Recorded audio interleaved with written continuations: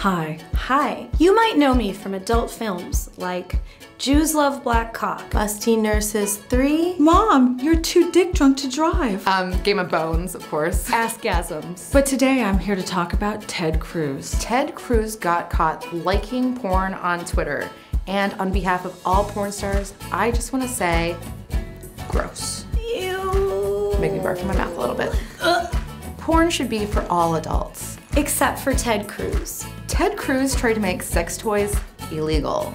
What did this guy ever do to you? Ted Cruz thinks victims of rape and incest shouldn't be able to get abortions. Ted Cruz wants women to have less access to birth control. Ted Cruz may or may not be the Zodiac killer.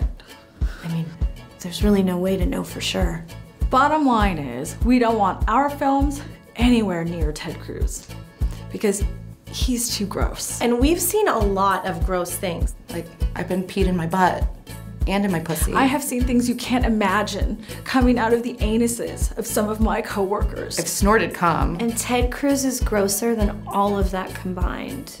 It's like not even close. So please, Ted Cruz, stay the hell away from us. Can you just back the fuck up? Stop watching porn. I can feel your tiny beady eyes staring at me, and it gives my soul diarrhea. How am I supposed to explain to my family that Ted Cruz might watch my videos? And really, Ted, pay up instead of watching porn for free on Twitter. We pay your salary. Give our bank accounts a reach around. It's just good manners. Also, who just likes a video on Twitter?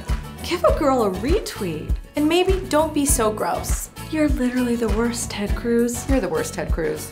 Fuck you, Ted Cruz. Fuck you, Ted Cruz. Fuck you, Ted Cruz, because I'm not going to. You know what? Don't even think about jerking off to this video. This is a family website.